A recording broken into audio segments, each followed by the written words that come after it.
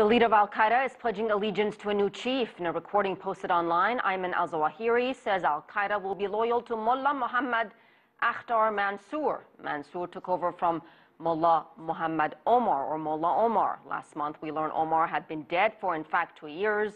Here's part of that recording.